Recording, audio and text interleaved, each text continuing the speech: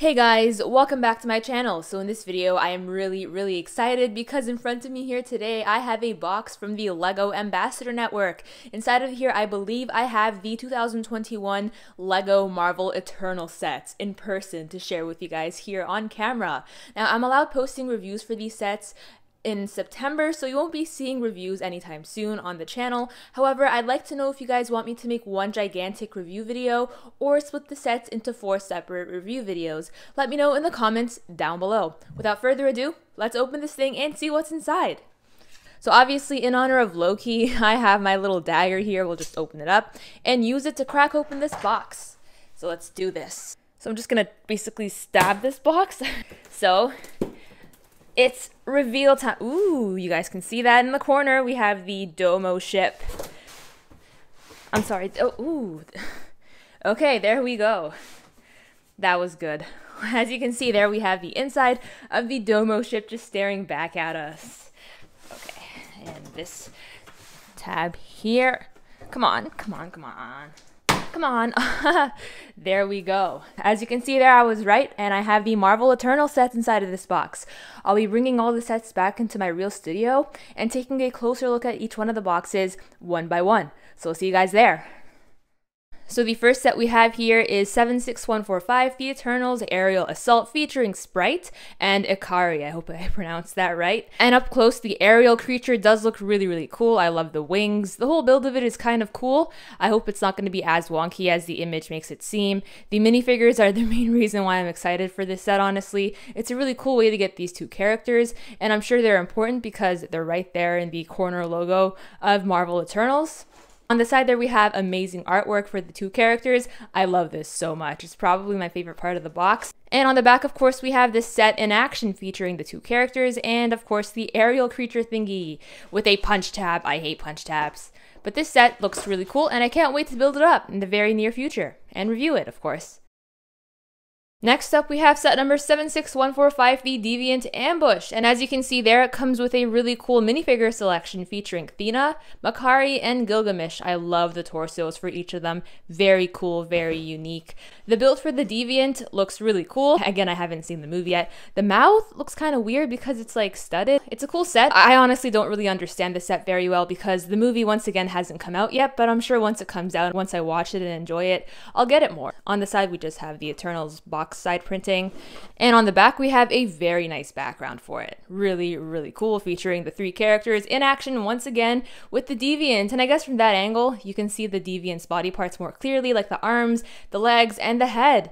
Oh my god, the head looks so cute. It looks like a little Stitch with the ears and the mouth and the eyes. I get it now. it's Stitch on steroids. And on the side there, we have the amazing artwork for the three characters. Really cool set, and I can't wait to build it up in the near future once again. So right here, the first big set is set number 76155 in Arishem's Shadow. I hope I pronounced that right. I probably butchered it and I'm very sorry about that. But once again, we haven't seen the movie, so I'm not really sure how it's supposed to be said but I'm assuming it's Erishim, I hope. so as you can see there, it comes with a light brick and four amazing minifigures featuring Ajak, Kingo, Ikari, and Sersi. I hope I pronounced that right. I'm so sorry. I feel so bad making this video. And at the top here, you can see that it comes with a little deviant kind of thing. I'm assuming they're called deviants because I see a trend with the colors. So yeah, let's just assume it's a deviant. Then that guy shoots lasers out of his eyes. That's cool. Honestly, I haven't built a Lego mech ever in my Lego life, I suppose. So this is going to be a first for me that I am definitely so excited for. I honestly just hate those little pins poking out of mechs in general, but this is going to be a first for me, and I'm really excited because his center chest actually lights up with the light brick. Really exciting. So yeah, I really can't wait to build this one up. It's probably my favorite set other than the Domo ship. On the side there, once again, we have a bunch of words. And on the back, we have the fantastic back printing with the characters in action and of course in Erishim in the background, just like trying to grab them or something with his little stud shooter arms, which I hate because I hate stud shooters. And right here we have the dimensions for him, so apparently he stands at 30 centimeters. I hope he can stand on his own and he doesn't need to like hold on anything or lean against anything because that would be kind of cool, just having it as a single display piece. Yeah, so that's going to be really awesome. And as you can see there, here's a closer look at all the characters in action, with of course the little deviant guy. and of course, the part that I was looking forward to most seeing on the side of the box, the character artwork. So, so awesome. The artwork looks phenomenal, and I'm so excited once again to build up this set. Like I said earlier, I'll probably enjoy the set more once I actually watch the movie, so that's going to be something to look forward to in November. So let's take a look at the final set that we have in the box.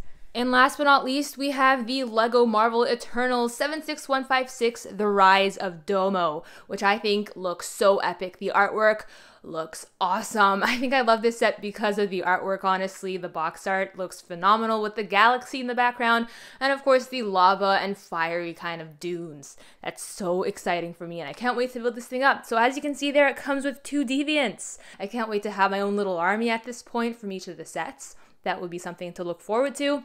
I guess this deviant looks very similar to that deviant on the box. So you'll have a lot of repetitive pieces, if you will, and designs, I guess, except for like little minor changes. Again, the color scheme is all the same because these creatures come from the same thing, I'm assuming. So yeah, let's take a closer look at the minifigures and the back of the box. So right here we have the minifigure selection featuring Phastos, Makkari, Druig, Sersi, Thena, and Ikari.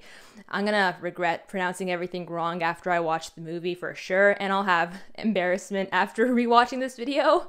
So there you go. Enjoy this while it lasts, you guys.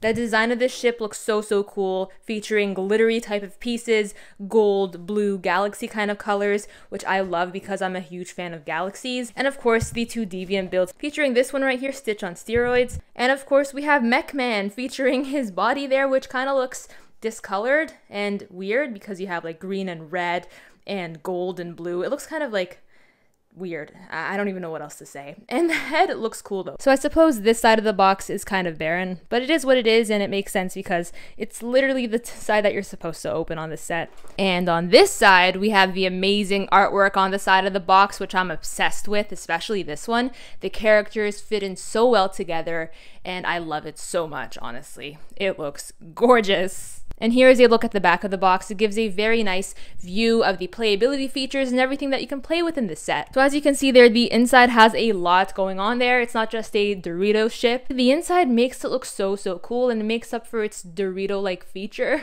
And in the bottom there, we have the characters in action, of course, running around, fighting people, and, you know, usual hero stuff, I suppose. With the villains, of course, just chilling in the background. I guess it's time to wrap this video up.